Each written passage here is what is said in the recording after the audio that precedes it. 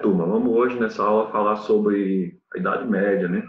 O mundo medieval, ele nos traz muita herança nos dias de hoje, né? Para você ter uma ideia, o que é fundamental no mundo medieval que a gente vive hoje é a questão da ideia da, da explicação dos fenômenos, tendo como ponto de vista a religião, ou seja, é o pensamento onde Deus explica tudo. Ora, em um momento de pandemia, né?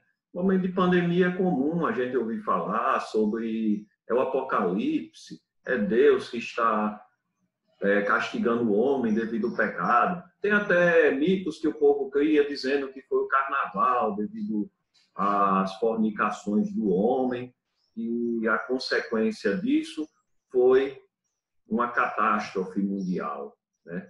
Enfim, isso eu me refiro porque o mundo medieval era um mundo que tudo se explicava sob o ponto de vista religioso. Né?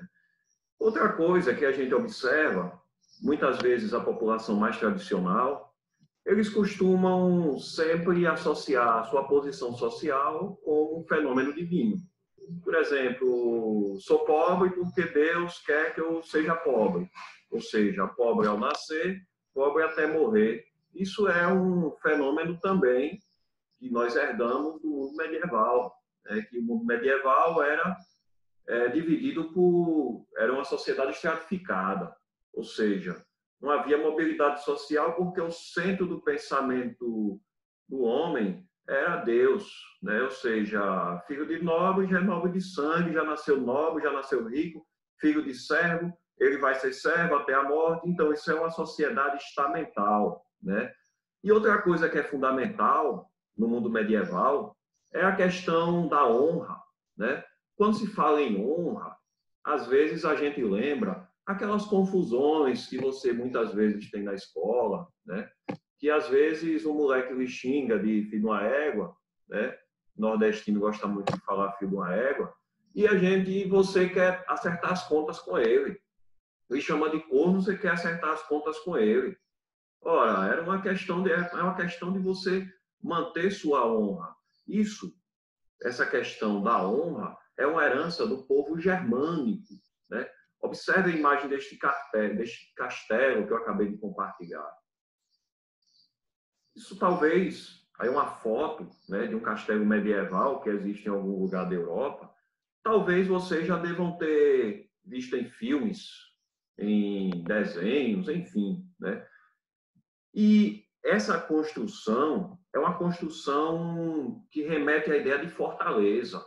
Isso porque, durante o período medieval, havia inúmeras guerras, havia inúmeros conflitos, e ao redor desse castelo, geralmente tinha uma muralha, uma muralha bem grande.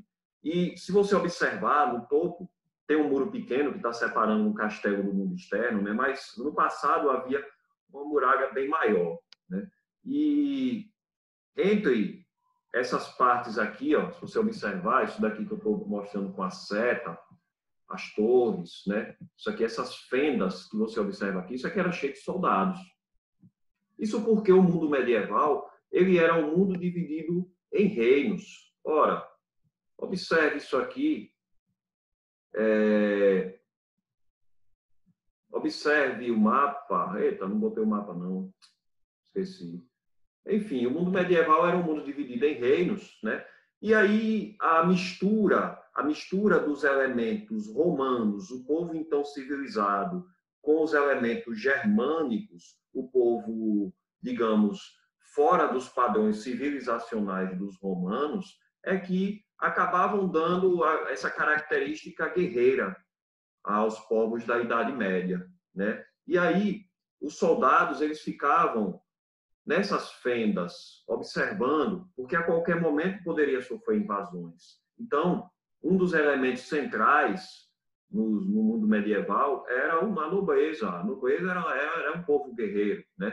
que o que é, a mistura de tradições germânicas, esse povo guerreiro com romanos, é que forma o mundo medieval, certo? Bom, então essa é a nossa introdução da aula, né? Outro vídeo que eu vou gravar, vamos e mais penetrar mais no assunto.